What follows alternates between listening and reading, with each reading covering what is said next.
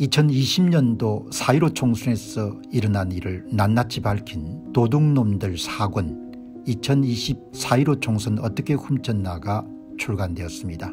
이미 발간된 도둑놈들 1권 선거 어떻게 훔쳤나 도둑놈들 2권 2022년 대선 어떻게 훔쳤나 도둑놈들 3권 2022년 대선 무슨 짓을 했나에 이어서 네 번째 발간된 책입니다. 여러분께서 구매해 주시고 주변에 널리 알려주셔서 선거 공정성 회복을 위한 노력에 힘을 대해 주시기 바랍니다. 감사합니다. 강북 예, 강남 3구를 제외하고 유일하게 당선된 분이 권영세 후보입니다. 예, 뭐한 200 몇 표인가 그 차이로 아마 당선됐고 본인이 또 당선됐으니까 어, 국민의힘의 실세로 일하는 동안도 3구 대통령 선거 당시에 공동선대위원장인가 그랬지 않습니까 그리고 대통령하고 막역한 사이였고 통일부 장관을 지냈으니까 뭐 본인이야 이제 당선됐으니까 뭐, 그, 뭐 그렇게 관심 없게 되었죠. 이제 본인이 이제 이번에 뭐 안 되겠죠. 뭐 어떻게 되겠습니까 예. 이한 보시게 되면은 이제 오늘 예, 조선일보의 논술 실장 박정훈 칼럼 뭐 이렇게 해서 이제 뭐 판세표를 이렇게 하고 뭐 이제 앞에 이 칼럼의 앞부분을 보게 되면은 지금 한국의 대다수 사람들이 갖고 있는 문제 인식을 소개해 놨기 때문에 한번 공유를 하죠. 4월 10일 총선 판세는 야당 쪽으로 기우는 흐름이 뚜렷하다. 거의 모든 여론조사가 여당 참패 야당 압승을 예고하고 있다. 이 여론이 만들어진 여론이라는 생각은 본인은 전혀 안 하는 겁니다. 역대 선거를 보면 투표 10점 중에 판세가 뒤바뀐 경우는 드물었다. 이렇게 조선중앙동화가 다 이렇게 예 그냥 여론을 만들어가는 부분에 다 부역을 하는 겁니다. 그러니까 기가 찬 거죠. 예. 한 번도 의심을 안 해보는 겁니다. 민주당은 153석 플러스 알파를 공개적으로 밝혔다. 180석을 얻었던 4년 전 총선 기록을 넘어서고 야권 전체로는 200석 플러스 알파가 가능하다는 말까지 하고 있다. 예. 지금 상황은 여론 기반 조성 작업이 워낙 생각보다 잘 이루어졌기 때문에 예. 화끈하게 할 가능성이 높다고 저는 판단하고 있는 겁니다. 예. 이렇게 이제 뭐 이야기가 되고 예. 이미 야당은 다음 국회에서 무엇을 할 것인지 투쟁 리스트를 작성해 놓았고 조국은 윤 정권을 dead duck 죽은 오리로 만드는 게 자신의 정치적 목표라고 했다. 3년도 길다며 윤 대통령을 중도 퇴진시키는 게 당을 만든 이유라고 했다. 만약 야권이 200석 이상 확보하면 불가능한 얘기가 아니다. 민주당은 벌써부터 대통령 탄핵을 외치고 있다. 여러분 이거는 뭐 충분히 다 예상됐던 이야기지 않습니까 지난 2023년도 10월 11일 강서구청장 보궐선거가 여러분들 끝나고 난 다음에 제가 10월 말과 11월부터 여러분들 2024년도 총선에서 4월 10일 총선에서 이런 식으로 가면 대표를 할 거다.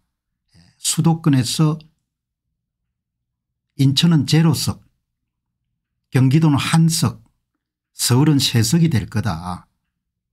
무슨 이야기인가 강서구청장 보궐선거 수준으로 사전투표율을 선거인수 기준으로 한 7.5% 이상 정도를 올리게 되면 수도권이 전패를 할 수밖에 없다.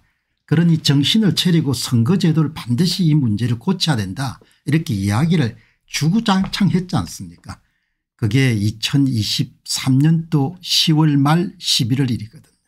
예. 그리고 이런 그런 근거를 다 가지고 예, 통계 자료까지 마련해서 이렇게 이야기를 했지 않습니까 다 예상이 된 거죠. 예, 예상이 된 것이고 이 보면은 이제 참 윤 대통령이나 이런 지금 여권의 지도부나 이런 분들이 참 딱하다는 생각이 들기도 하고 참 무능하다는 생각이 들기도 하고 어떻게 사람들이 저렇게 대먹었나라는 생각이 들기도 하고 예.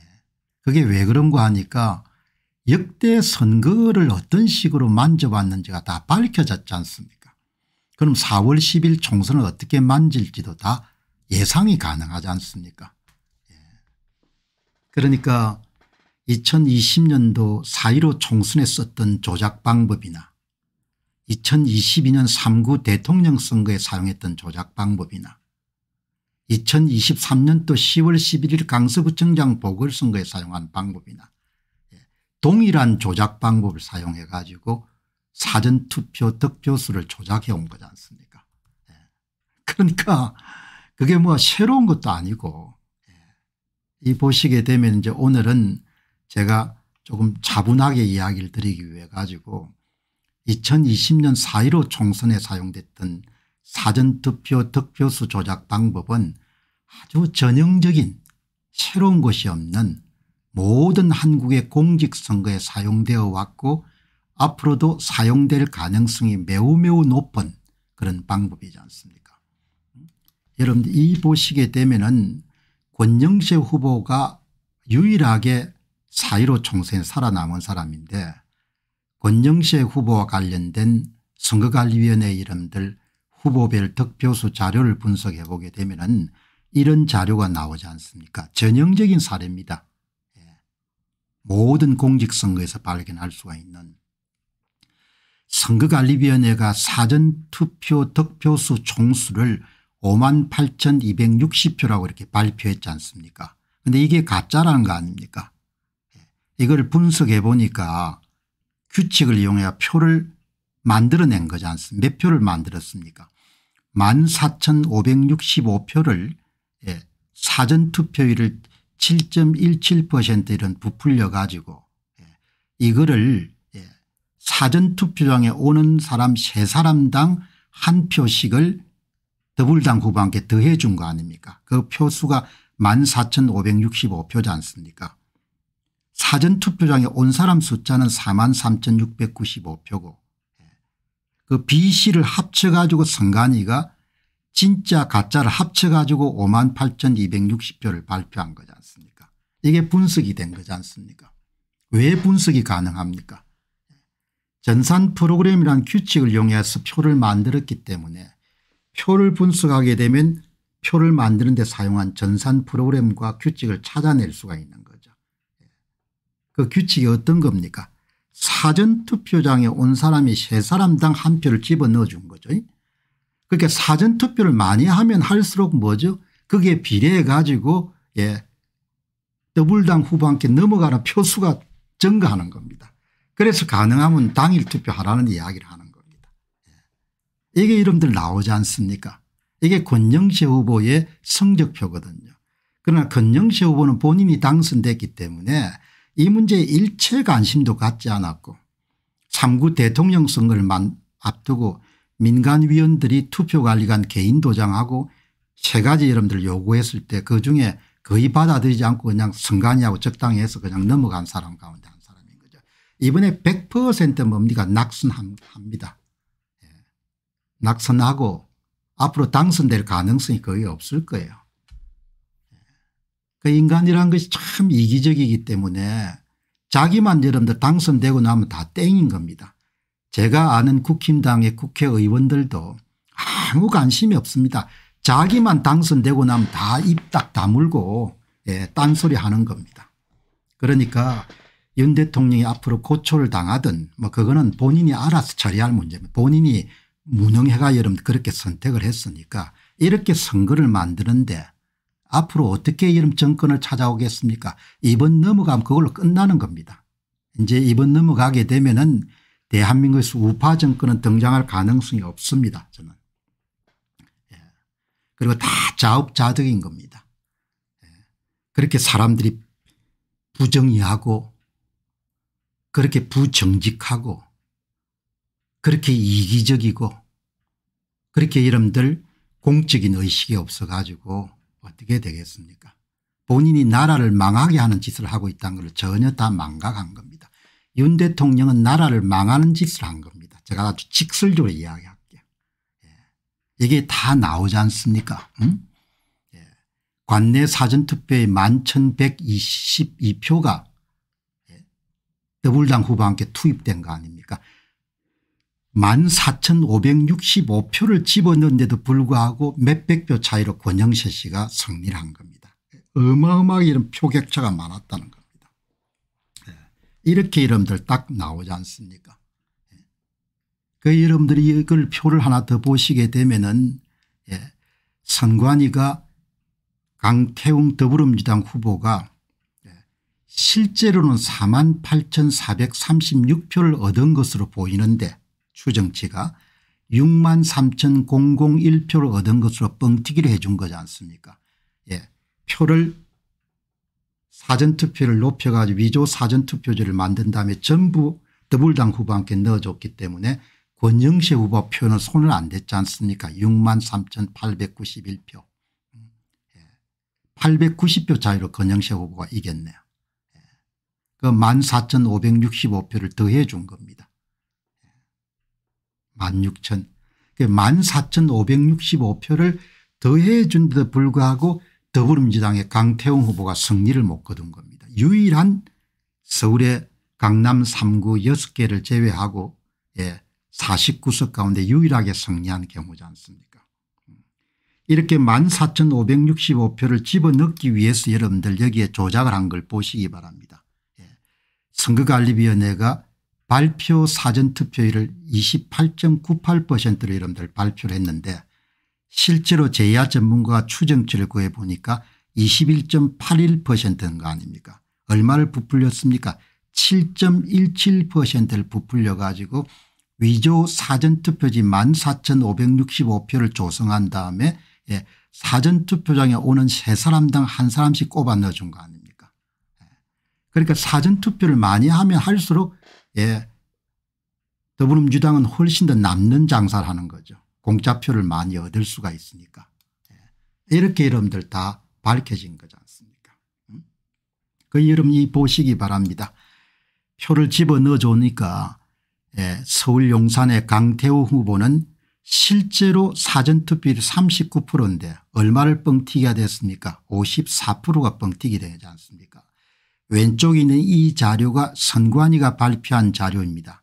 예. 이 사전 빼기 당일의 차이값 보시기 바랍니다. 더불어민주당 플러스 13% 미래통합당 마이너스 14% 거의 미친 수치가 나왔지 않습니까 예. 이런 뭐죠 선거 결과가 나왔는데 대한민국의 식자층들이 다 침묵하는 겁니다. 그러니까 앞으로 자식들하고 죽을 고생하더라도 본인이 할 이야기들이 없는 겁니다. 이런 뭡니까 분석 결과가 나왔는데도 불구하고 대한민국에 이런 정치하는 사람들이 다 침묵한 거 아닙니까 그러니까 필연적으로 대패할 수밖에 없는 겁니다. 예. 이 보시기 바랍니다. 예. 이걸 지금 막을 수 있는 방법은 없는 거예요. 예. 이미 차는 지나갔고 지금 투표자들 할 수 있는 것은 가능하면 당일 투표를 하는 건데 그러나 뭐 사전투표 몇 사람 안 한다가 여러분들 사전투표율을 올리지 않을 일도 없는 것이고 이렇게 여러분들 돌아가는 겁니다. 예. 이 보시기 바랍니다. 이렇게 이런 선거를 10년째 해왔는데 예. 아무 여러분들 그런 이걸 고치려고 하는 가정 없이 그렇게 또 4월 10일 총선을 맞지 않습니까 예. 이거를 이렇게 여러분들 돌아가는 거. 이 지금 여러분이 보시게 되는 4월 10일 총선의 용산구 사례는 예, 역대 선거에 전부 일어났던 그냥 하나의 사례 사례 가운데 하나고 앞으로 일어나게 될 사례인 겁니다.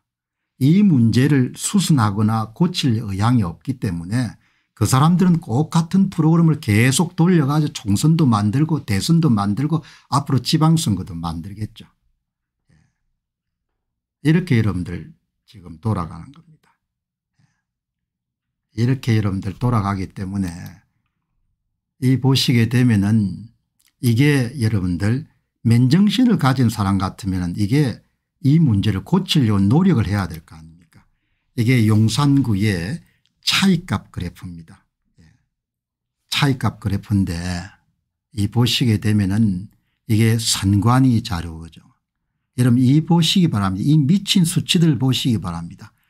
호암동의 민주당이 플러스 14% 권영세 후보가 마이너스 11% 용산 이가동이 플러스 11% 이런 엄청난 미친 결과가 나와도 대한민국의 식자청이나 지도청들이 전혀 이 문제가 왜 이렇게 발생했는지를 여러분들 규명하고 해결할 의지가 없는 겁니다.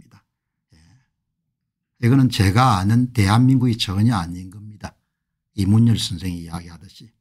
지금은 여러분들 그냥 돌아가지만 나라가 기둥부터 다 썩어 빠진 겁니다. 예.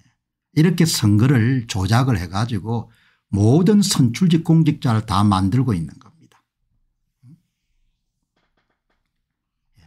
이렇게 여러분들 돌아가는 겁니다. 예. 이런 선거를 지금 계속 해온 겁니다.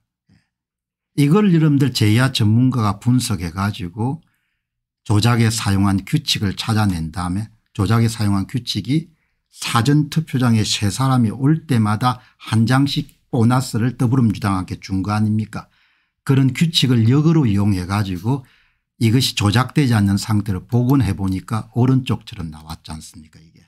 이게 조작되지 않는 상태입니다. 조작되지 않는 상태의 차이값 그래프가 이렇게 나오는. 이런 선거를 예. 계속 하고 있는 겁니다. 한국은 완전히 넘어갔습니다. 여러분. 예. 오늘 이 방송 들으시는 분들이 밥맛 없는 이야기라고 생각하다 이렇게 모르지만 아 그 당시에 공 박사가 그렇게 외친 거를 우리가 놓쳤구나 그렇게 엄청나게 후회하는 날이 올 겁니다. 예. 지금 할 수 있는 방법은 딴 게 없고 가능한 당일 투표장에 가는 겁니다. 왜냐하면 사전투표용에 방문한 사람들이 올 때마다 세 장씩 한 장씩을 집어넣어줬기 때문에 그냥 사전투표장에 가면 갈수록 뭡니까 예. 넘겨주는 표가 많은 거죠. 이렇게 여러분들 문제가 지금 진행이 된 겁니다. 예. 그래서 이 사전투표율을 그러니까 사전투표율이 높아지면 높아질수록 100명이 사전투표할 때 두 장에 한 장씩을 여러분들 빼앗으면 50장을 더해 줄 수가 있고 200명이 참여하면 두 장당 한 장이면 100장을 더해 줄 수 있는 겁니다. 그러니까 사전투표율을 높이기 위해서 그렇게 그 사람들이 노력을 하고 이런 거가 사전투표율이 높으면 그만큼 예, 전리품 훔칠 수 있는 표수가 많아지는 겁니다. 그러니까 이 모든 문제의 중심에는 뭐 지금 이제 이미 시간이 많이 지났지만 윤 대통령 책임을 제가 묻지 않을 수가 없는 겁니다. 예, 대통령 중심제에서 대통령은 여소야대건 예, 뭐 전혀 중요하지 않고 중요한 문제입니다. 투표 관리관 개인 도장 날인 하나 관철을 못 시킨 상태에서 선거를 치르게 되는 겁니다. 예. 어마어마하게 무능한 인간인 겁니다. 윤 대통령은. 예. 뭐그 사람 나는 그냥 한마디로 행편없는 사람이라고 보는 겁니다. 예. 뭐 하고 있는지는 모르겠어요. 이제는 뭐 그냥 다 지나갔, 지나갔으니까 뭐 이런 이야기 해도 소용이 없을지 모르겠는데 한마디로 행편없는 사람인 겁니다. 예. 이렇게 여러분들 선거를 맞아 가지고 탄핵 저지선이 무너지든 그냥 본인이 뭐 알아서 하겠죠. 뭐. 예. 이렇게 나라를 어려운 상황으로 그렇게 밀어넣는 법이 어디 있습니까 본인이 잘 나가 대통령이 된 게 아니지 않습니까 수많은 시민들이 힘을 합쳐가 대통령이 돼서 다른 거는 몰라도 선거 정의 하나 정도는 회복해 주실 수 있을 거다 이렇게 생각하고 표를 던진 거 아닙니까 그러니까 제 판단은 여러분도 예, 각오 단단히 하시고 늘 뭐 그렇게 살아왔으니까 그러려니 이렇게 하지만 보통 심각한 상황이 아닙니다. 이게 예. 나라가 완전히 넘어간 겁니다. 이 나라가 완전히 넘어간 것을 제가 이야기하더라도 사람들은 예, 그냥 본인이 직접 겪을 때 그때 여러분들 깨우치는 법이 많지 않습니까 꼭 여러분들 그걸 겪어야 여러분들 알 수 있냐 이야기입니다. 예. 아무튼 간에 현재 상황이 지금 이렇게 위중하다 그렇게 하고 여러분들이라도 이 사람들이 표를 어떤 식으로 만지는지 그러니까 그냥 예, 5일 6일 사전투표율이 나오는 걸 보게 되면 뭐 거의 이런 추정치를 만들어 이렇게 예측할 수가 있는 겁니다. 예. 선거 결과를 추정치를 예측할 수 있다는 게 놀랍지 않습니까 그게 왜 그런 거 하니까 다 규칙을 사용하기 때문에 예상을 할 수 있는 거죠. 예. 뭐다 여러분들 세상사가 다 자업자득이지 않습니까 예. 그래서 뭐 저도 이 런 방송을 언제까지 할 수 있을지 모르겠습니다만은 4월 10일 총선까지는 확실하게 이제 분석 작업 마치고 예, 그렇게 여러분들에게 알려드리도록 그렇게 하겠습니다. 그러면은 거의 뭐 예, 제야 H님이 도움을 주셔가지고 전수 분석이 약 9회 정도 됐지 않습니까 역대 선거에 제야 전문가는 다 이렇게 분석 작업을 해가지고 이제 연구자 입장에서 할 수 있는 방법은 다 한 겁니다. 음, 대한민국의 사전투표 조작이 어떤 식으로 일어나고 있고 대략 언제부터 시작된 것 같고 그 사람들이 사용하는 전산 프로그램은 어떤 거고 그 사람은 어떤 규칙을 사용해 왔고 역대 선거의 선거구마다 몇 표 정도를 여러분들 표를 이동시켰는지 이게 다 나온 거지 않습니까 예. 그리고 놀라운 것은 2012년도 사전투표 제도가 이름 실시되기 전에 예, 국외 부재자 투표부터 여러분들 손을 댄 거지 않습니까 그럼 그 전에 선거도 국내 부재자나 국외 부재자를 손을 댔을 가능성이 높거든요. 그러니까 국내 부재자와 국외 부재자 투표를 손을 대면서 이 사람들이 사전투표를 이렇게 조작할 수 있다는 확신을 가졌으니까 국내 부재자 국외 부재자를 하다가 그다음에 광범위하게 확대를 해가지고 예, 관내 사전 우편 투표 거소 선상 재외국민 투표로 다 확대를 한 거지 않습니까 그래서 완전히 나라가 선거를 장악한 자들에 의해서 완전히 나라가 그냥 납치가 된 거죠. 예. 너무나 딱한 것은 예. 이, 이 상태로 그냥 나라가 굴러가는 겁니다. 예. 처음에야 뭐 그냥 그럭저럭 굴러간 가겠습니까 거의 뭐 선거를 장악한 사람들이 목표가 딴 게 있습니까? 그냥 끼리끼리 해먹기 위해 가지고 여러분들 다 힘을 합치는 거지 않습니까? 끼리끼리 해먹기 위해서 먼저 중국에 붙을 거고 그런 거 아니겠습니까? 그럼 나라에 뭐가 남겠습니까? 나는 나라에 남을 게 없을 거라고 봅니다. 그냥 끼리끼리 해먹는 겁니다. 이런 상황에서 뭐 윤 대통령이 뭐 지하자 만세라고 이야기하면 은 그거는 좀 생각을 해봐야 되는 거죠. 뭘 잘했습니까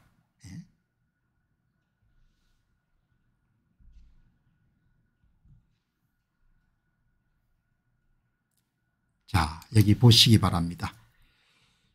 이제 오늘 어, 조선일보의 일면 톱 기사가 예, 여당을 보면 가슴이 답답해 가지고 입을 닫는 보수 뭐 이렇게 여러분들 내용이 좀 너무나 좀 슬픈 이야기를 이렇게 잘 담았네요. 예, 그러니까 뭐 이 양반도 애는 많이 썼겠지만 그야말로 정신이 없는 거지 않습니까?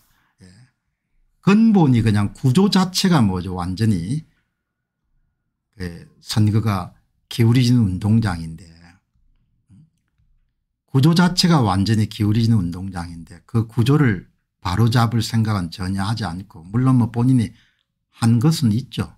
예, 투표관리관 개인 도장 찍어달라고 네 번 정도 이야기했으니까 안 하는 것보다 나았지만 뭐 그래 가지고는 될 수가 없는 거죠. 선거가 뭐 이렇게 다 예, 만지, 만지진 상태니까 이거를 이렇게 뭐 어떻게 뒤집겠습니까 오늘 이 보시는 분들이 이제 일요일 날 아침인데 너무 이렇게 우울한 이야기를 들으신 것 같아 가지고 그렇지만 저는 4년 동안 이 우울한 이야기를 계속 방송을 했으니까 예, 멘탈이 좀 강하지 않았으면 벌써 무너졌을 겁니다. 그래도 웃고 이렇게 방송할 수 있는 게 보니까 제가 봐도 참 예, 멘탈이 예, 강하구나 이런 생각을 가끔 하는데 예. 지적으로 너무 게으른 같습니다. 한국 사람들이. 그리고 너무나 시야가 좁고 짧고 예. 선거마다 여러분들 이렇게 특정 세력들이 예. 선거 결과를 만드는데 자식들하고 앞으로 어떻게 살 겁니까 나는 그 상상이 안 돼요. 예. 여러분 상상이 됩니까 선거 결과마다 이런 다 쇼를 만들어 가지고 그냥 으쌰 으쌰 으쌰 으쌰가 야바이꾼들 하는 짓을 다 해가지고 그러니까 여러분 선거 결과 다 만들어내는데 그걸 가지고 여러분들 뭐 애들하고 앞으로 어떻게 살 겁니까? 오늘은 여러분 보시게 되면은 여당을 보면 가슴이 답답하는 그런 보수 색채가 강하신 분들도 건국 전쟁에는 눈물을 흘리지만 선거 부정 문제는 심각하게 생각 안 하지 않습니까? 예, 그러니까 다 제가 좀 가혹한 이야기가 될 수 있을지 모르지만 자업자득이고 인가응본 겁니다. 예, 그뭐 어떻게 그걸 벗어나겠습니까? 선거 결과를 다 만드는데. 예, 다 그렇게 합해 가지고 뭐죠 다? 그냥 이런 문제 그냥 하는 사람들은 그냥 당신들이나 열심히 해서 해결해 달라고 그렇게 하고 별로 다 관심이 없잖아요. 예. 너무나 여러분들 치명적인 일격인 겁니다. 그래서 이문열 선생이 내가 아는 대한민국이 아니라는 말씀이 너무나 오랫동안 기억에 남아있는 겁니다. 어떻게 한국 사람들이 원래 이런 사람들이 아니었는데 그런 생각이 얼마나 들겠습니까 여기 보시기 바랍니다. 여기 보시게 되면은 이게 영등포울의 아주 억울하게 여러분들 박용찬 의원인데 이번에도 여러분들 밀리겠죠. 압도적으로 다수로 이긴 것 않습니까 보시게 되면은 영등포울인 겁니다. 여기도 사전투표율을 선거인 수준으로 7.08% 여러분들 부풀려 가지고 유령 사전투표 다수로 9872표를 만든 다음에 여기에서 여러분들 유령 사전투표자 수라는 것은 투표장에 오지 않은 가공의 숫자를 만든 겁니다. 예. 그래서 투표장에 오신 분들이 세 사람이 올 때마다 한 장씩을 더불어민주당 후보와 함께 더해주는 방식으로 손을 댄 거죠. 그래서 여기는 또 여러분들 결과가 어떻습니까 여러분 보시게 되면 9872표를 집어넣은 겁니다. 9872표 가운데 관내 사전투표는 7363표 이 표는 전부가 다 더불당 후보한테 갔습니다. 그 다음 2509표는 관내 사전투표입니다. 예. 그리고 실제로 이 표들은 본인이 받은 표에 비해 가지고 25%에 해당하는 겁니다. 그러니까 사전투표자 수 기준으로 보게 되면 은4.15 총선은 조작값이 25%인 거죠. 조작 프로그램 기준으로 보게 되면 은 사전 4.15 총선 2020년 4.15 총선은 사전투표장에 오는 세 사람당 한 표를 집어넣은 겁니다. 그러니까 사전투표장에 오는 사람의 숫자가 늘어나면 늘어날수록 훨씬 더 많은 표가 더불어민주당 함께 갈 수가 있는 그래서 가능하면 당일 투표를 하시라고 이야기를 하는 겁니다. 예, 그리고 법적으로 사전투표 하지 맙시다 이런 거는 하면은 무슨 사전투표 방해죄인가 이런 게 걸려들어요. 그러니까 사전투표 하시는 분은 하시더라도 가능한 당일 투표 하시기 바랍니다. 이렇게 이야기하는 것은 사전투표장에 오는 사람 세 사람당 한 표를 집어넣기 때문에 4.15 총선은 대개 평균적으로 그러니까 사전투표장에 오시는 분이 많으면 많을수록 예, 더 많은 표가 넘어가는 겁니다.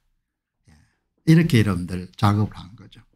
그래서 보시게 되면은 영등포울에 김민석 후보하고 박용찬 후보가 붙었는데 예, 김민석 후보가 실제로 받은 것은 3만 7,202표로 추정됩니다.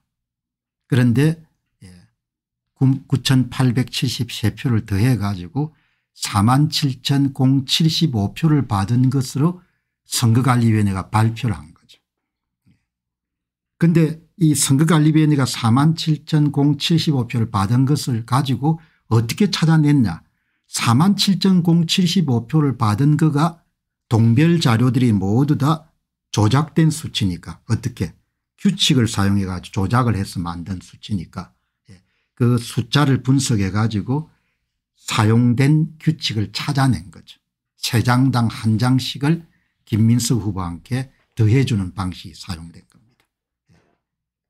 그래서 여러분들 이 사람들이 사전투표율을 발표 사전투표를 어마어마하게 중요하게 생각하는 겁니다. 이것은 발표 사전투표율이 영등포울 같은 경우는 28.61% 그리고 제야 전문가가 추정한 실제 사전투표율은 선거인 수 기준으로 21.53%. 그러니까 선거 사전투표소에 온 사람이 21.53%인데 28.61%로 부풀려서 발표를 한 겁니다. 옳은 일이 아닌 거죠.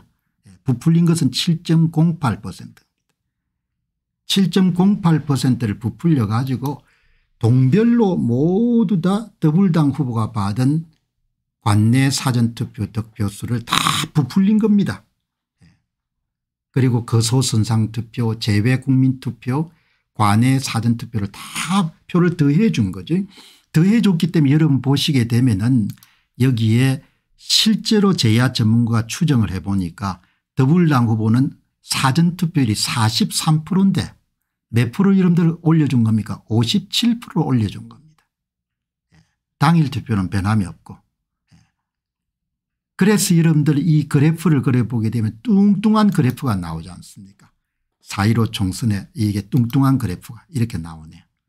뚱뚱한 그래프가. 예. 뭐 엉망진창입니다. 국외 부재자 투표는 얼마나 손을 많이 댔는지 더불당은 플러스 24% 예. 미래통합당은 마이너스 20% 우편투표도 플러스 16% 더불당 미래통합당 마이너스 16% 뭐 밑에 관내 사전투표는 마찬가지인 겁니다. 이렇게 선거를 다 조작을 한 겁니다. 예. 이 사전투표 득표율을. 예. 이런 어마어마한 범죄를 그냥 묵인하고 대한민국이 그냥 넘어가게 된 겁니다. 저는 이번 선거가 거의 끝이라고 봅니다. 실질적으로. 예. 다음 대통령 선거는 부터는 이제 뭐 이렇게 하기 힘들 것 같아요. 그리고 지금 이런 문제에 대해서 분노하고 이런 분들은 나이가 좀 드신 분들이고 젊은 사람들은 아예 관심이 없으니까 예, 그냥 이렇게 사전투표를 조작하는 것이 제도화된 고착화된 나라에 사는 겁니다. 특정 정치 세력이 그냥 선거 결과를 만드는 겁니다. 공산당은 그냥 발표하지만 여기는 요식적인 행위로 선거를 하고 결과는 다 여러분들 예, 그냥 컴퓨터를 가지고 다 만드는 겁니다. 이렇게 여러분들 가는 거죠. 예. 여기 보시게 되면은 이게, 이게 여러분들 예, 선거 결과를 이렇게 만들어 놓으니까 이런 그래프가 나오지 않습니까 이거를 다 침묵하지 않습니까 이준석이 하태경이 예, 뭐 다 침묵하지 않습니까 예. 이거를 침묵하는 윤 대통령은 내가 이해할 수 있겠습니까 이거를 뭡니까 손살에 치는 한동훈 씨를 그거 뭐 여러분들 내가 이해할 수 있겠습니까 예, 공 박사님이 왜 그냥 우파가 돼 가지고 이런 국힘당을 옹호하는 발언을 안 하십니까 이걸 보고 내가 어떻게 너희들 잘한다 참 잘한다 어 대단하다 이렇게 이야기하겠습니까 이야기를 할 수 없죠. 그래서 이번에 누구 찍으라 이런 이야기를 저는 일치 안 한 겁니다. 그냥 알아서 다 여러분들 여러분들이 다 하실 테니까 알아서 다 찍으시고 다만 예, 사전투표장에 오는 사람 숫자가 많으면 많을수록 표가 예, 그냥 공짜표가 저쪽으로 넘어가니까 예, 그거는 그냥 가능하면 선거는 하시되 음, 당일 투표 많이 하시기 바랍니다. 그렇게 완곡하게 이야기하는 겁니다. 여러분들 이 보시기 바랍니다. 이런 선거를 예, 선거마다 하는 겁니다. 예, 그냥 여러분들 양심에 그냥 예, 철판을 깔고 앞으로 도, 홍콩 사람처럼 그렇게 살아야지 이걸 대들거나 이렇게 하면 뭐살 수 있겠습니까 아니면 떠날 수밖에 없는 거죠. 예. 이렇게 하는 겁니다. 예. 이걸 가지고 대통령이 입을 다물었는데 우리 대통령 우리 대통령 잘하신다 이렇게 이야기할 수 있겠습니까 이야기할 수 없는 거죠. 어마어마하게 양심불량인 인간이라고 밖에 이야기할 수 없는 겁니다. 음. 사람이 어떻게 인생을 그렇게 살 수 있는 겁니까 예. 대통령이 아니라 우 대통령 할아버지가 되더라도 이렇게 살아서 안 되는 겁니다. 이런 것을 다 이런 침묵해 가지고 백성들이 노예가 되게 됐는데 우리 대통령 우리 대통령 대통령 우리 대통령 그렇게 할 수 있겠습니까 예, 가끔가다 댓글 쓰시는 분들 가운데 아니 공 박사님 우파 나는 그럼 우파 안 해도 되니까 그냥 그런 칭호 붙이지 말라 이야기 나는 양심의 소리를 이야기하는 거고 좌파든 우파든 간에 어떻든 사람이 정직해야 되고 이런 자식들하고 살아갈 수 있는 그런 토대를 파괴하는 사람을 어떻게 내가 옹호하겠냐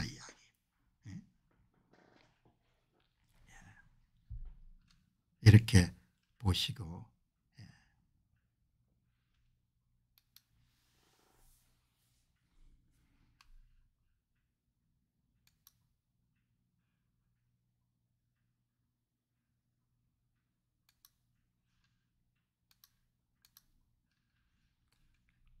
자, 이 보시기 바랍니다. 이제 사전투표율이 굉장히 중요하죠. 사전투표율이. 그 성패 거의 결정적입니다. 이게. 예. 당일 투표는 뭐 거의 그 사람의 정치적 성향 크게 변함이 없기 때문에 대개 당일 투표를 보게 되면은 그 지역의 어떤 정치적 성향이나 이런 것을 우리가 짐작할 수가 있잖아요. 예. 이 사전투표율이 대단히 여러분들 중요하죠. 예. 앞에서도 여러분들이 말씀드렸다시피 대개 전산 프로그램이 그동안 사전투표를 만지기 위해서 어떤 식으로 가동이 되어 왔는가 하니까 사전투표에 참가하는 사람 숫자에 비례해 가지고 두 장당 한 장을 더불당 후보한테 넣어줄 것인지? 이제 그거는 강서구청장 보궐선거입니다.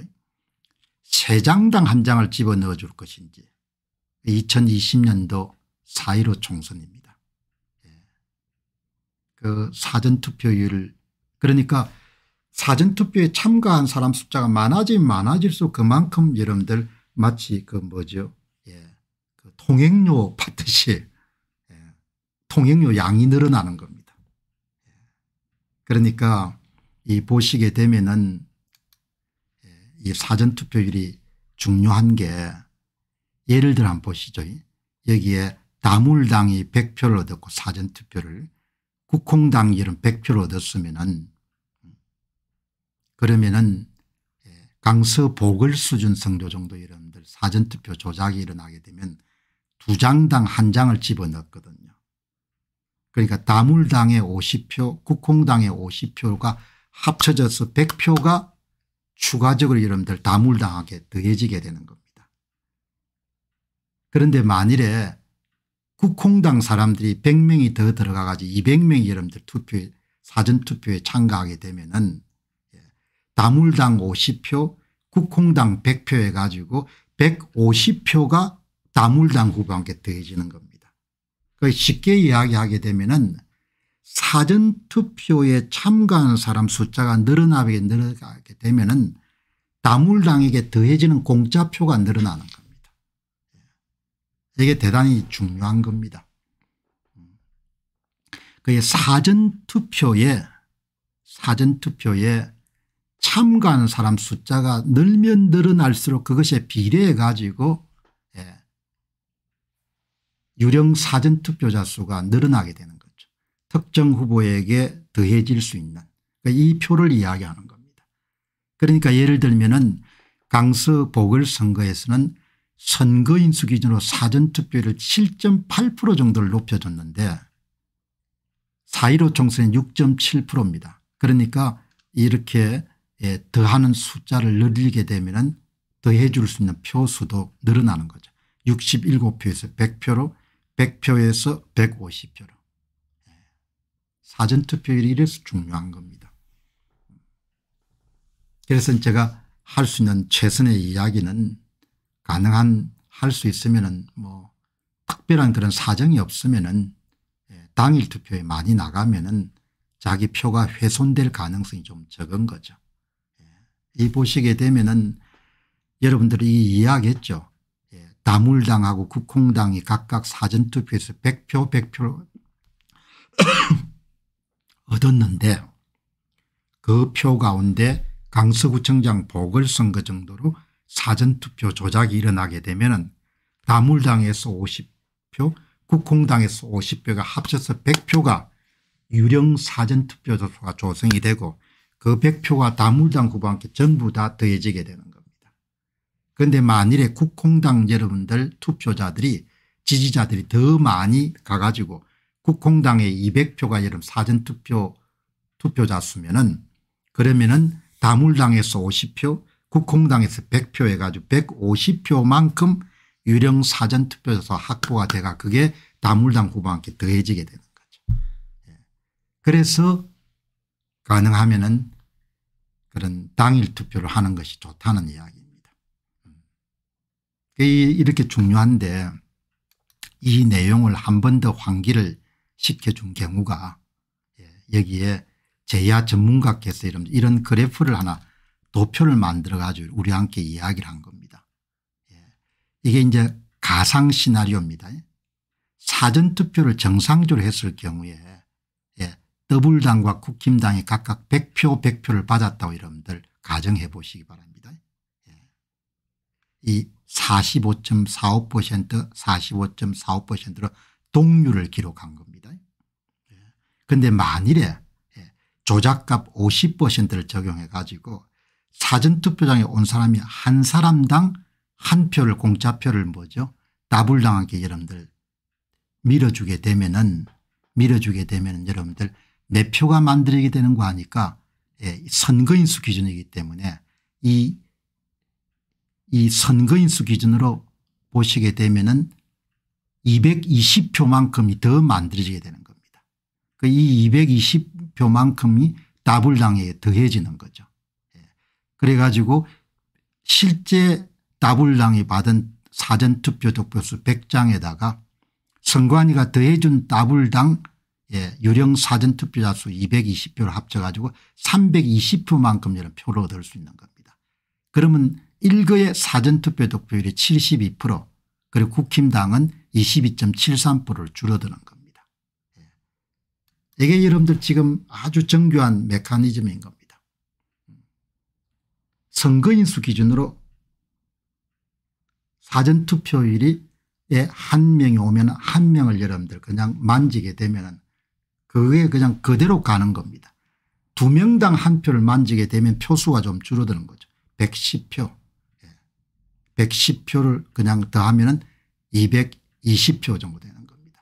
그러니까 사전투표에 많이 오면 올수록 훨씬 더 뭐죠. 예. 그냥 공짜로 넣어줄 수 있는 표수가 늘어나는 겁니다. 그러니까 선거인 수가 계속 이렇게 늘어나는 겁니다. 사전투표 조작은 여러분들 아주 간단합니다. 실제 사전투표자 수보다도 발표 사전투표 자 수를 계속 늘려가는 겁니다. 늘려가게 되면 은 이렇게 사전투표자 수가 늘어나게 되면 은 밀어 넣어줄 수 있는 표가 예.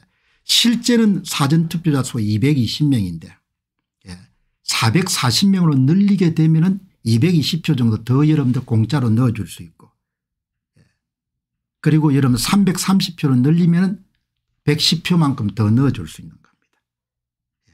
이렇게 여러분들 돌아가는 겁니다. 예. 그래서 역대 선거를 보게 되면 사전투표율이 급속히 이름 늘어납니다. 우리나라에. 그런데 이 사전투표가 진짜인지를 아무도 알 수 없는 겁니다. 알 수 없게끔 만들어 놓은 겁니다. 여기 보시게 되면 은 2016년 총선에 비해 가지고 2020년 총선에 사전투표자 수가 130% 늘어난 겁니다. 656만 명. 왜 늘어났겠습니까 이거는 자연스러운 수치가 아니거든요. 대선은 221% 1116만 명이 추가적으로 늘어난 겁니다. 2024년 총선은 얼마나 늘어날지를 모르죠. 1813만 명을 가정하게 되면은 예, 그러면 259% 정도 늘어나는 것을 볼 수가 있는 거죠. 사전투표율이 계속 높아지는 겁니다. 사전투표율이 높아진다는 이야기는 사전투표자 수가 많아진 겁니다. 이게 사전투표자 수를 많이 이렇게 늘리는 겁니다. 많이 늘리게 되면 그만큼 더해 줄 수 있는 표가 늘어나게 되는. 예. 사전투표자 수를 220명에서 진짜에서 440명을 늘리게 되면 은 220표 정도 더 더해 줄 수 있는 겁니다. 더불당 후보한테 330표를 늘리면 110표를 더해 줄 수 있는 겁니다. 그 선관위 발표 사전투표 득표수에는 진짜 사전투표 득표수 플러스 예, 유령 사전투표자 수가 더해지게 되는 거죠.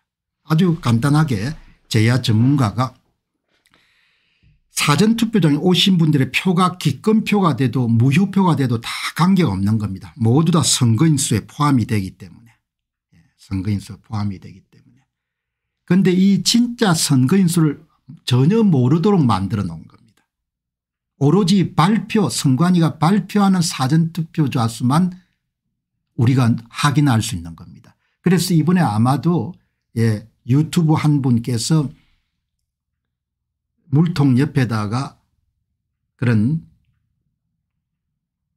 카메라를 설치하려고 한 것이 실제 사전투표자 수를 알기 위한 거죠. 실제 사전투표자 수가 220명인데 440명을 만들고 330명을 만든 걸 확인할 수 있는 방법이 전혀 없는 겁니다. 그냥 여기 440명 선관위가 발표하면 440명이 되는 겁니다. 선관위가 발표하면 330명이 되는 겁니다. 선관위가 발표하면 290명이 될 수 있는 겁니다. 발표 사전투표율 외에는 국민들이 전혀 알 수가 없는 겁니다. 알기 위해서는 제가 누누이 강조한 바와 같이 사전투표자 수를 투표소 단위에서 개수 카운팅할 수 있는 것이 제도적으로 허용이 돼야 된다. cctv를 사용하든 아니면 은 사전투표 참가자 명단을 스스로 이름 작성하든 그렇게 여러분들 되어가는 겁니다. 그러니까 뭐 이제 지금 와가지고 뭐 되돌리기는 힘들죠. 선거가 몇 주 안 남았으니까. 다만 중요한 것은 이런 선거를 지금 우리가 하고 있다는 겁니다. 이런 선거를. 그리고 국민들이 이런 선거가 이루어진 것에 대해서 무관심한 비용을 치르게 될 것이라는 부분을 제가 분명하게 지적하는 겁니다. 그러니까 역대 선거에서 계속 사전투표자 수가 놀라운 속도로 불어나는 겁니다. 사전투표자 수가 여러분들 2016년에 비해 가지고 12.9% 2020년은 26.7% 2024년도에는 1813만 명을 따지면 40%인데 이걸 뭐 예측치니까 예. 사전투표 지방선거는 2014년 11.5% 2018년 20.1% 현저하게 증가하는 겁니다. 사전투표자 수가. 사전투표자 수가 왜 증가하냐 이걸 보면 단박에 알 수 있는 겁니다. 사전투표자 수를 늘리면 은 늘린 만큼 예, 더해 줄 수가 있다는 이야기죠. 늘린 만큼. 440표를 예, 늘리면 220표를 더해 줄 수가 있고 330표를 늘리면 110표를 더해 줄 수 있는 겁니다. 예. 이렇게 여러분들 되기 때문에 이 문제를 어, 굉장히 참 관심 있게 이렇게 우리가 봐야 되는 거죠. 그래서 역대 선거에서 사전투표율이 계속적으로 높아지고 있고 이번에 사전투표율은 얼마나 높아질까 우리가 관심을 갖고 지켜보는 아주 중요한 이유인 거죠. 그래서 지금까지 제가 이렇게 분석해서 제야 전문가 작업을 이렇게 소개했던 이 서울시장 선거 2024년부터 2022년까지 선거인수 기준으로 사전투표를 얼마나 부풀렸고 이렇게 확보된 유령 사전투표를 얼마를 확보를 했고 이걸 전산 프로그램을 가지고 어떻게 이름 집어넣는지 이게 여러분들이 이렇게 다 나오지 않습니까 그러니까 역대 선거가 모두 다 이렇게 행해져 온 겁니다. 이게 송파구 사례입니다. 2022년 서울시장 선거는 윤 대통령이 처음 등장하시는 선거였기 때문에 아주 경미한 손복이었죠. 사전투표장에 9명이 올 때마다 한 장씩을 집어넣는 방식을 쓴 겁니다. 예. 이게 송파구고 이게 종로구인 겁니다. 종로구에서 여러분들 역대 서울시장 선거를 어떻게 손을 봤는지 그러니까 이렇게 손을 봐왔기 때문에 선거를 만지는 사람들은 얼마나 전문가들이겠습니까 훤할 겁니다 그 사람들은. 그냥 눈 감고도 조작을 할 수 있는 수준일 겁니다. 이렇게 나오지 않습니까? 예. 대한민국 참 큰일 났습니다. 그냥 완전히 장악당한 겁니다. 예. 여기 보시기 바랍니다. 이게 강서구청장 선거입니다. 예.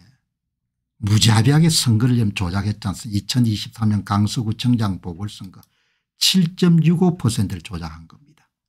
관내 사전투표만 따지면 7.55%입니다. 3만 8,306표를 집어넣은 겁니다.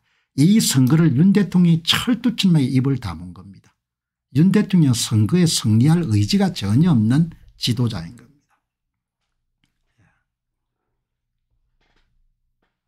2023년도 강서구청장 보궐선거는 완전히 대놓고 조작을 한 겁니다. 두 장당 한 장을 집어넣기 때문에 완전히 들통이 난 그리고 이 건 때문에 이 방법이 더 명확하게 드러난 겁니다. 이 사람들이 동일한 전산 조작 방법을 사용했다는 것이 강서구청장 보궐선거를 화끈하게 조작했기 때문에 강서구청장 보궐선거를 화끈하게 조작한 것은 바로 4월 10일 총선의 예고편입니다. 그러나 국힘당의 김기현 당대표나 윤 대통령 다 여름 입 다물고 그 여러분들 국민들의 관심을 돌리기 위해서 혁신위원회를 가동해서 인요한 씨를 좀 등장시키고 그런 짓들을 한 겁니다. 그러니까 윤 대통령은 이 선거 부정 문제를 은폐하는데 아주 일익을 담당한 핵심적인 인물인 겁니다. 그러니까 뭐 그 양반이 앞으로 탄핵 대상이 되든 그거는 뭐 보통 맨정신을 가진 사람들한테 별로 관심이 없는 겁니다. 당신이 저질렀으니까 당신이 책임지라 뭐 이런 거죠. 여기 보시기 바랍니다. 여러분 어떤 사건이 터지게 되면 경보음이 자주 울리지 않습니까 윤 대통령 치하에서 세 번의 공직선거가 다 여러분들 이렇게 경보음에 해당하거든요. 그걸 다 깔아뭉갠 겁니다. 그뭐 저는 그냥 X입니다. X. 그러나 이제 앞으로 국민들이 얼마나 고통을 당할지 정책을 집행하는 사람들이야 뭐 본인들이 책임질 일이지만 국민들이 이제 참 딱하게 된 거죠. 선거 끝난 그 다음 날부터 얼마나 여러분들 행패를 뿌리게 될지. 네.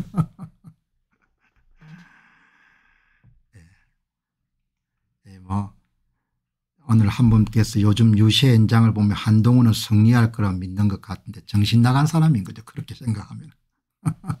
그러니까 꽃가마 타고 있으면 정신을 못 차린 거죠. 어떻게 이길 겁니까 여러분 제가 지금 말씀드리는 것은 과학을 이야기하지 않습니까 무속이 아니고 무당하고 이런 굿, 굿 하는 게 아니고 제가 지금 이런 말씀드리는 것은 과장도 아니고 제가 지금 여러분들한테 무슨 말씀드리는 겁니까 이거는 과학을 이야기하지 않습니까 어떻게 나라가 구한 말도 아니고 후기 조선도 아닌데 나라가 이렇게 무속에 젖어 있는지 도무지 이해가 안 가요.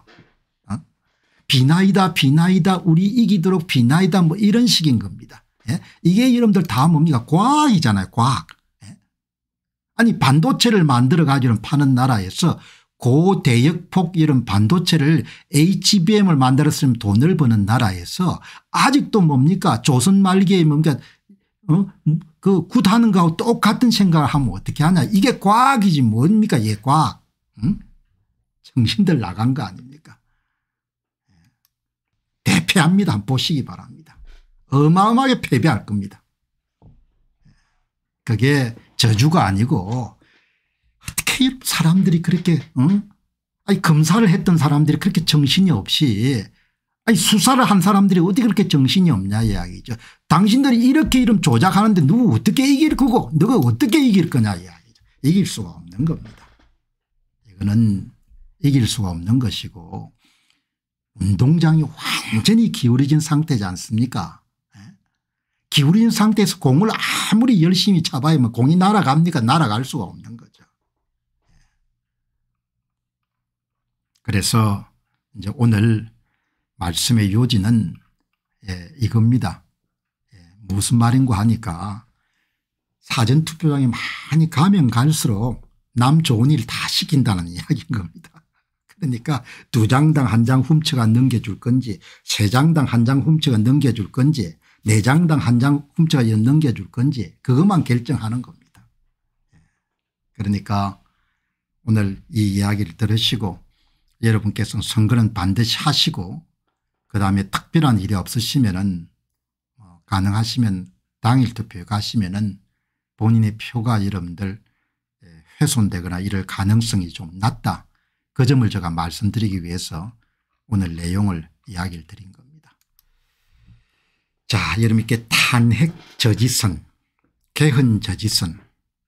자 여러분들 이거를 에 2022년도 요일일 전국 동시지방선거에 선거를 만지는 사람들이 좀 가볍게 조작을 했지 않습니까? 예, 눈치를 좀 받고 2023년도 4월 5일 보궐선거에서 울산 광역시 교육감 선거 같은 경우는 조작각 기준으로 35%니까 아주 높은 수치입니다. 그때 아 이 사람들이 이제 다시 화끈하게 하기 시작했구나.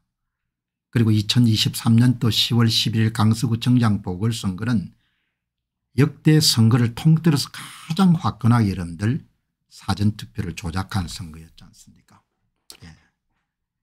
그게 마치고 난 다음에 수도권에 대표할 거다. 예. 그 대표하는 것을 그냥 여러분 주장한 게 아니고 4월 10일 총선의 전국 평균으로 선거인 수 기준으로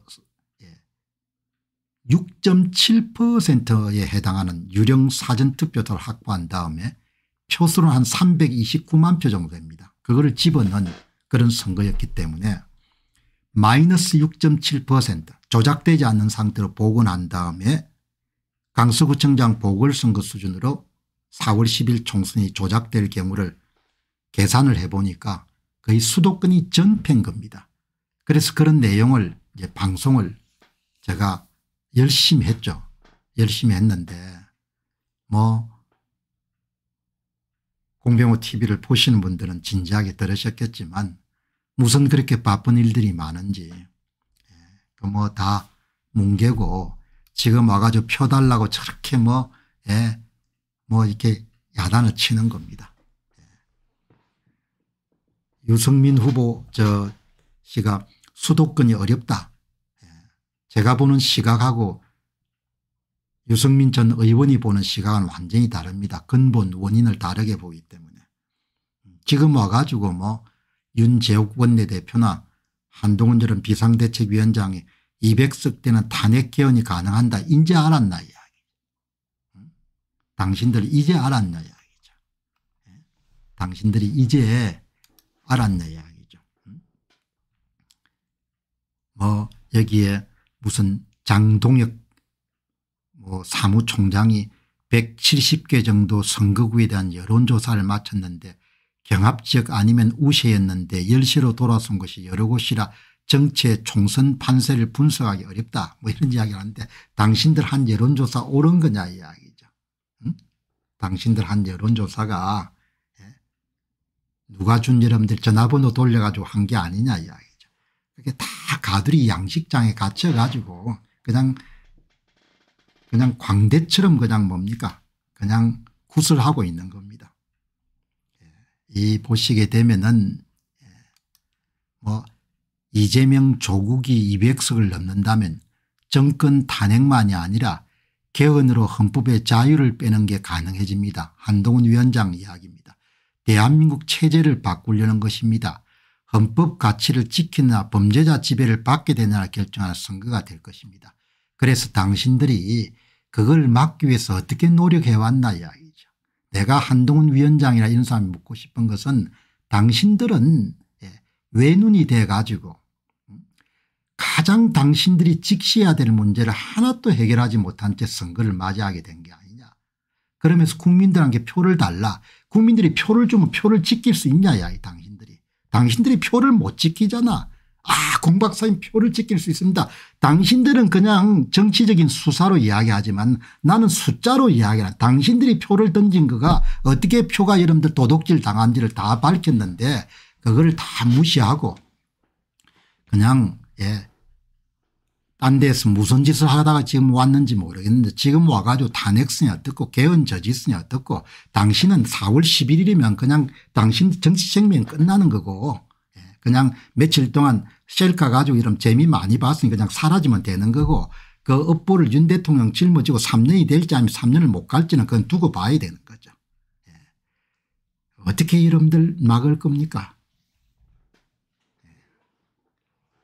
2년 동안 아무 일도 안 하고 예. 지금 와가지고 표 달라고 탄핵선 무너지니까 표 달라고 개헌선 무너지니까 표 와달라고 어떻게 여러분들 그런 이야기를 하는 겁니까 음.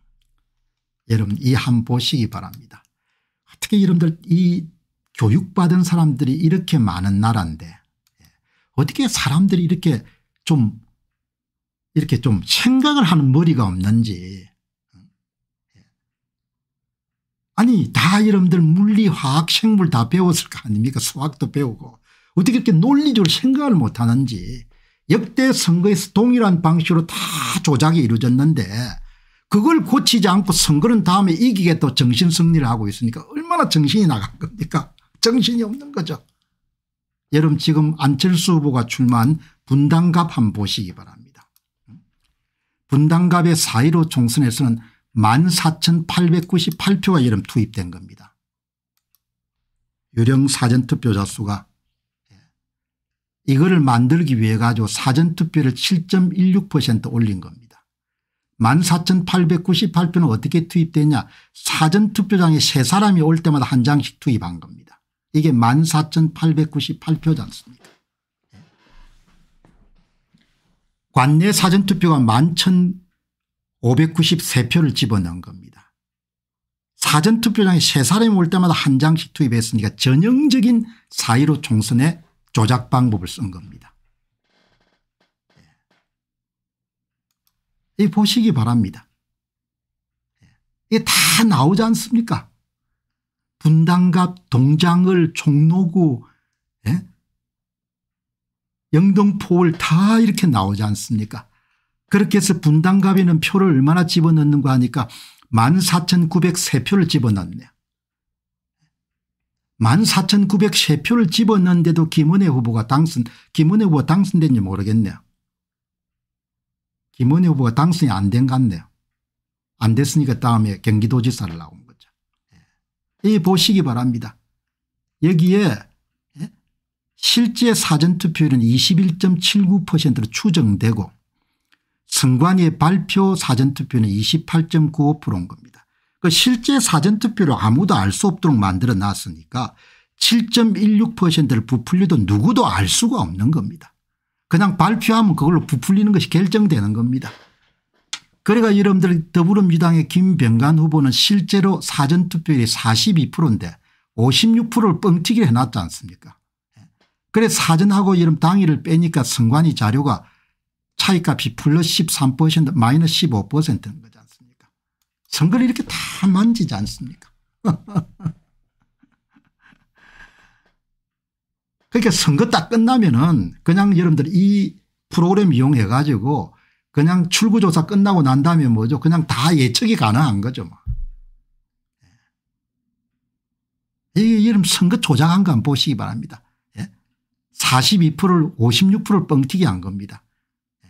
56%를 뻥튀기 하는데 몇 표를 집어넣은. 이게 14,898표를 프로그램을 이용해 가지고 세 장당 한 장을 집어넣어 놓으니까 여러분 이렇게 56% 뻥튀기가 된 겁니다. 그래프를 그려 놓으니까 이런 그래프가 나오지 않습니까 이런 그래프가 기이한 그래프가 음.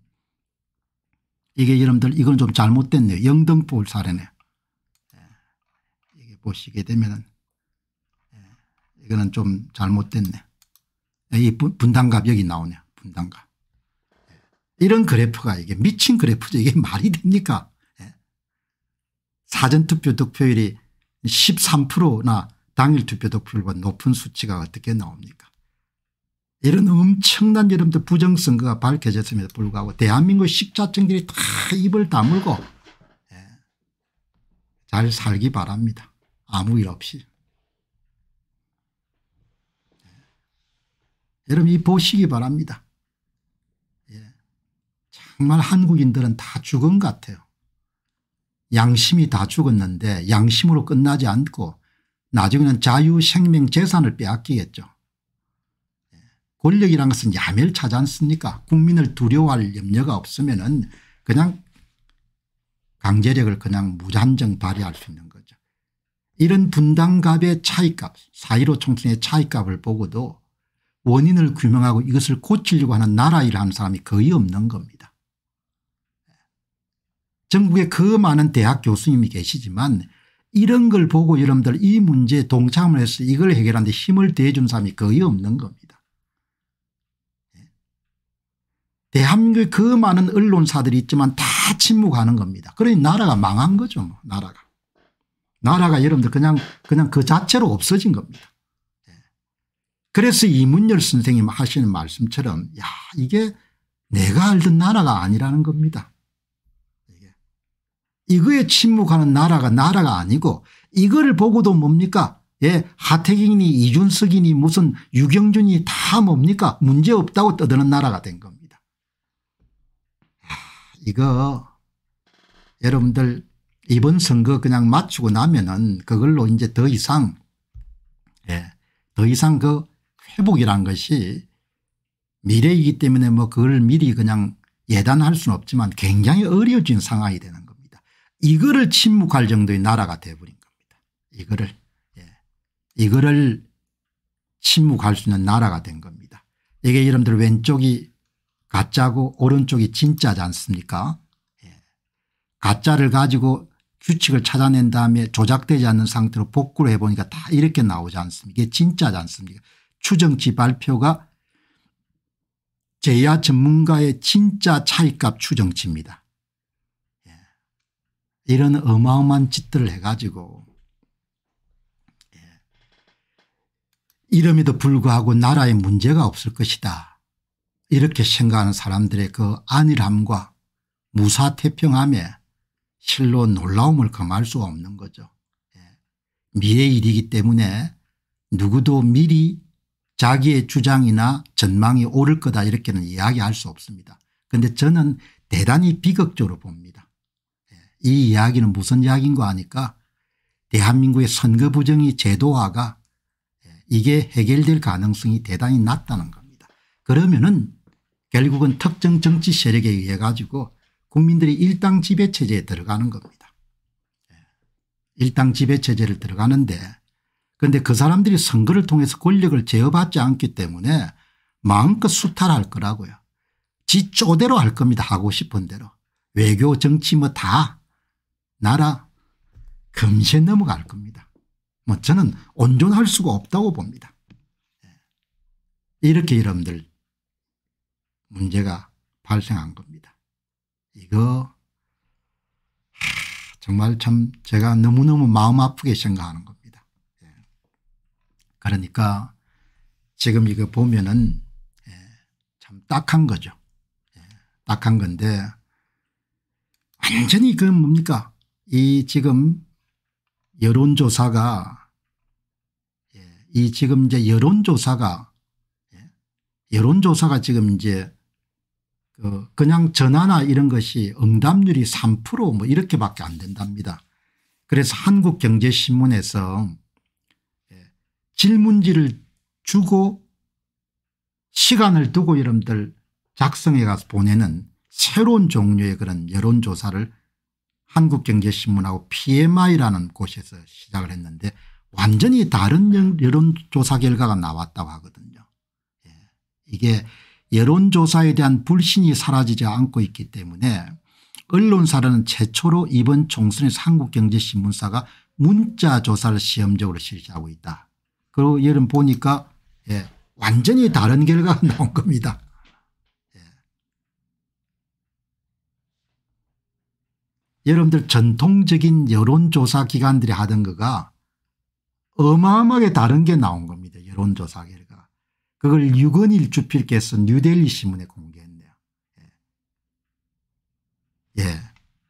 완전히 열세다 이렇게 나왔는데 여기 보니까 김은혜 후보나 유니스 후보가 도저히 저런 결과가 나올 수가 없는데 윤희숙 씨가 저렇게 밀릴 수가 없고 김은혜 후보가 저렇게 밀릴 수가 없는데 어떻게 저런 여론조사 결과가 나올까 그렇게 의문을 가지신 분이 계실 겁니다. 기존 조사와 다른 결과가 나왔다. 예, 문자 조사를 한답니다. 이게 보니까 예, 질문지를 문자로 보내주고 5일 정도 걸려서 답신을 보내게 하는 그런 방법을 썼대요. 한국경제하고 PMI. 그러니까 상당히 다른 여론조사 결과가 나오기 시작한 겁니다. 여러분 이게 뭘 이야기합니까 예. 이게 저는 여러분들 그냥 5년 정도 그렇게 4년 정도 연거 연, 이 문제를 보면서 딱 정해져 있는 겁니다. 예. 여론조사를 만지고 분위기를 띄운 다음에 언론을 동원하고 그래서 국민들이 수월하게 선거 결과를 받아들일 수 만든 다음에 그 여론조사에 걸맞는 선거 결과를 제조 생산을 해서 발표하는 겁니다. 그 완전히 가두리 양식장에 갇힌 상태인 겁니다. 그 대한민국 여론조사 기관들이 특정 기관이 이름 제공한 샘플을 가지고 그냥 정해진 대로 답이 나올 수 있는 그런 여론조사를 만드는 겁니다. 그러니까 완전히 가두리 양식장에 사람들이 갇혀 있다는 생각을 드는 겁니다. 너무나 딱한 나라가 돼버린 겁니다. 이렇게 똑똑한 사람들이 어떻게 나라가 이렇게 되도록 그냥 내버려 뒀을까. 예. 정말 여러분들 역대 선거의 프로세스와 여론조사가 천편일률적입니다. 2018년도 지방선거는 선거 바로 전에 북미 싱가폴 회담을 이런 기획을 해가지고 이벤트를 만들어 가지고 국민들이 저항 없이 2018년 지방선거에서 서울의 25개 구청장 가운데 24자리를 더불어민주당이 차지할 정도로 그렇게 여러분들 여론을 만든 다음에 그냥 그것에 맞게끔 선거 결과를 그냥 만들어 가지고 발표를 해버린 겁니다. 꼭 같은 방법입니다. 4.15 총선도 마찬가지고.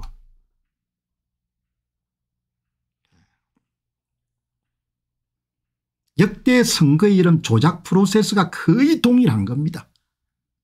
국민들이 저항감을 느끼지 않고 자연스럽게 선거 결과를 받아들일 수 있도록 여론을 만든 다음에 여론조사 결과를 만든 다음에 여론조사 결과라는 것은 기본적으로 국민들의 이름들 투표 성향 국민들 절반의 투표 성향은 다 갖고 있으니까 QR코드를 이용해 가지고 예. 그러니까 표본 샘플을 조작을 한다는 생각이 드는 거예요. 도저히 윤희숙 씨가 전현희 씨한테 그렇게 밀릴 수는 없는 건데 예. 여론조사를 해보니까 완전히 다른 결과가 나온 거지 않습니까 이렇게 이러면 되는 겁니다. 그런데 이러면 더 딱한 것은 예. 자, 여러분 우리 한국 사람들 자기 잘난 맛에 많이 살잖아요. 예. 어떻게 그렇게 잘나는 잘난 맛에 사는 사람들이 과학하고는 담을 쌓았는지 참 이해하기가 힘들거든요. 예. 뭘 어떻게 사건이나 이런 것이 있으면은 그걸 좀 이해를 하려고 하고 제대로 파악하려고 하는 지적인 활동을 거의 안 하는 것 같아요. 예. 그냥 감으로 때려잡는 겁니다. 그러니까 여러분 이런 거 보시게 봐 이게 이게 경기 성남 분당구 갑의 2020년 4.15 총선의 차이값 그래프거든요. 이런 걸 보고 야 이거 진짜 문제가 많다. 어떻게 사전투표 득표율이 당일 투표 득표율 받아 동별로 이렇게 차이가 나냐 아 이건 좀 문제가 있다. 어 그 누가 이야기하는데 통계학의 대수의 법칙이라는 게 있는데 모집단으로부터 표본 집단을 끄집어내면 은 표본 집단의 특성과 모집단의 특성은 같거나 비슷해야 된다. 아니 그런 걸 내가 들어본 적이 있는데 이거 좀 이상하네 이렇게 생각하는 사람들이 별로 없는 겁니다. 야 어마어마하게 감성적이고 어마어마하게 이런 뭡니까 그냥 기분파들이 많은 겁니다.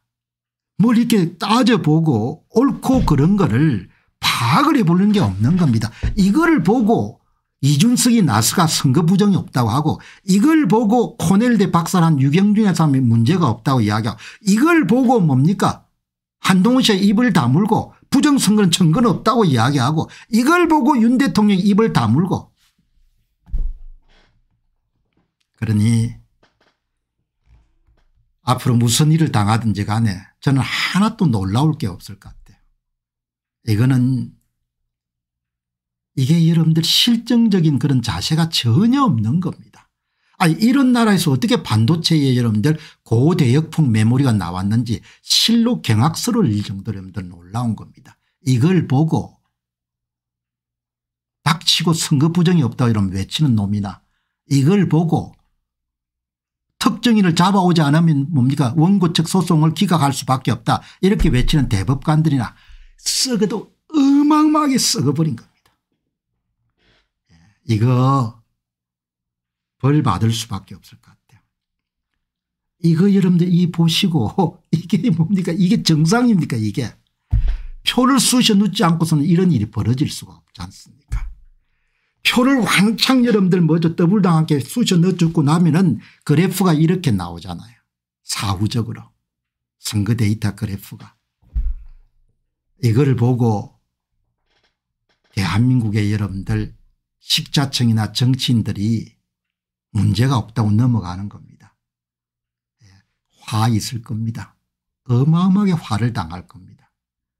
예, 나는 이 나라 백성들하고 지도청에게 이런 강력하게 권고하는데 당신들이 이 문제를 덮고 그냥 체제가 그냥 넘어가는 거다.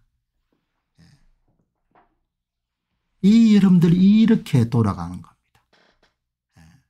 역대 선거 데이터를 이런 다 분석해가 보면은 전부가 맘 규칙을 사용해가 여러분들 사전투표 후보별 득표수를 다 만든 거지 않습니까 예. 그걸 보고도 의문을 갖지 않고 의혹을 제기하지 않고 그걸 보고도 뭡니까 문제가 심각하다고 생각하지 않는 사람을 어떻게 이해할 수 있겠습니까 이거 정말 여러분들 그동안 잘 먹고 잘 살았는데 뭐 영원히 잘 먹고 잘 살기는 힘들지 않겠습니까 예. 오늘 여기 한국경제신문이 문자 여론조사 예. 통상 여러분들 경제신문이 조금 보수적인 색채가 강하지만 한국경제신문은 전통적으로 기사 자체가 굉장히 쿨한 그런 기사입니다. 기사라 자체를 대부분 기사가. 예. 이 보시게 되면 여기서 전현희 윤희숙 이런 김은혜 이런 사람 이름 선거 결과가 기존 여론조사하고 다르다는 거 아닙니까 예. 비례대표 이름들 지지도도 이게 뭘 이야기하냐 이야기죠. 이게 함께 주는 메시지가 어마어마하게 큰 겁니다. 그냥 가두리 양식장에 국민들이 다 갇혀버렸다는 겁니다. 여론 조작하고 거기에 맞춰서 뭡니까 주문자 상표 부착 방조 선거 결과를 만드는 겁니다. 선거 결과를 만든다는 이야기를 계속해도 예, 뭐딴 사람들 다른 이야기 못하지 않습니까 그러니까 선거 결과를 이렇게 만드는 거죠. 예, 아무튼 이 여론조사를 통해가 가두리 양식장이 국민들 다 갇히게 만드는데 이번 선거도 너무나 그렇게 되기 때문에 참 걱정스럽다는 생각을 하지 않을 수가 없는 거죠. 자 오늘 이제 선거방송의 마지막 파트입니다. 윤 대통령 이제 심판론 뭐 이런 거가 나오, 나오는데 윤 대통령이 뭐 다른 거는 어떻게 재임하고 계시는 동안 뭐 어떻게 했는지 별로 기억이 안 납니다. 예. 뭐 다만 윤 대통령이 추진했던 그런 정책들 가운데서도 최근 들어와 가지고 그런 의사 문제를 다루는 거나 이런 문제들은 좀 뭐 납득할 수 없는 그런 일들인 거죠. 그런데 어 지금 이제 선거판이 윤 대통령 심판론 뭐 정권 심판론을 이렇게 흘러가지 않습니까 저는 뭐 일종의 프레임이라고 보는 거죠. 선거를 조작하는 사람 입장에서는 반드시 필요한 것이 프레임이거든요. 프레임이 있으면 은 예, 상대방을 프레임에 갇히게 만들 수 있고 갇히게 만들 수 있으면 그것이 이런 합당한 정도의 선거 결과를 만들 수가 있으니까 그러나 가장 코어 핵심이란 것은 선거 결과를 제조 생산 발표할 수 있다는 게 가장 핵심인. 그러니까 윤 대통령의 책임이 있다면 대통령이 그 소위 대한민국의 모든 사회 현안들의 정점에 소위 사전투표 조작을 통한 정권 탈취라는 것이 있다는 것을 일찍부터 인지를 해가지고 이 문제 최소한의 이름들 방어책인 투표관리관 개인도장 날인 문제하고 사전투표자 수 개수 문제를 여러분들 관철시킬 수가 있었으면 지금처럼 이렇게 순환을 당하지 않았겠죠. 네. 그런데 뭐 본인이 그거를 이제 안 했으니까 뭐 그 다음에 이제 이를 비용을 치를 수밖에 없는 거죠. 너무나 여러분들 딱한 거죠. 예. 더 잘할 수가 있었는데 뭐 그리고 저는 대통령을 볼 때 제가 자주 그런 말씀을 드리지 않습니다. 대통령에 대한 그런 평가뿐만 아니고 어떤 사람이 대한민국의 공직선거 문제에 대해서 갖고 있는 그런 포지션이나 그런 입장을 보게 되면 은그 사람의 상당히 많은 부분에 대한 평가를 내릴 수가 있는 거다.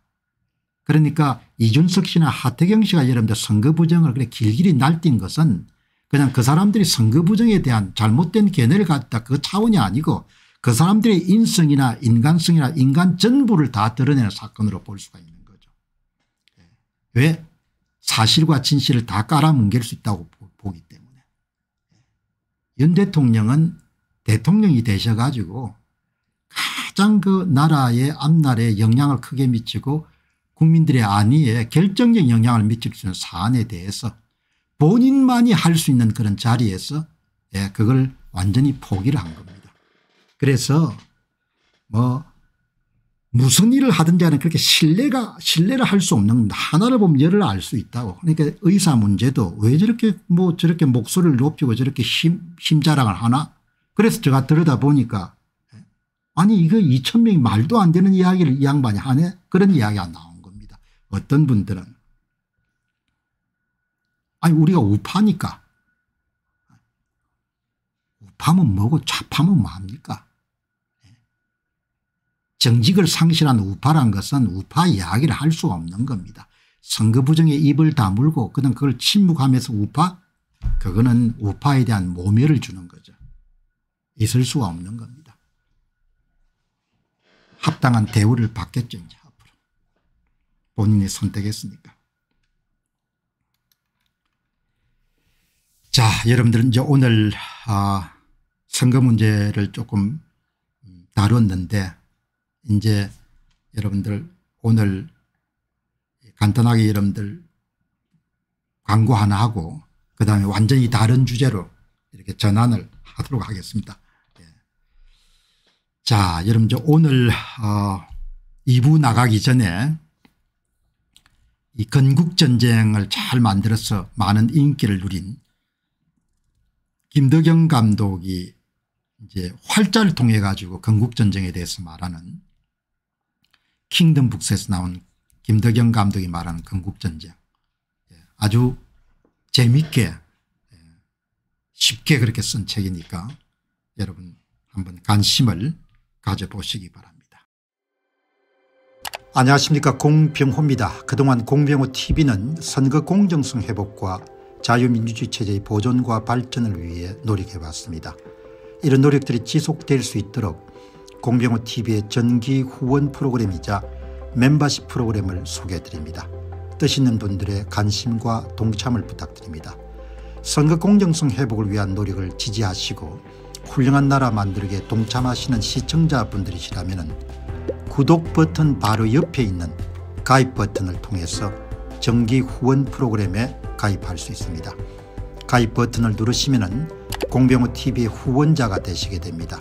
여러분의 후원이 선거 공정성 회복을 위한 노력에 힘을 더할 수 있을 뿐만 아니라 자유민주주의 체제의 수호를 그리고 발전을 통해 여러분과 후손들의 삶에 빛과 소금이 될 것입니다.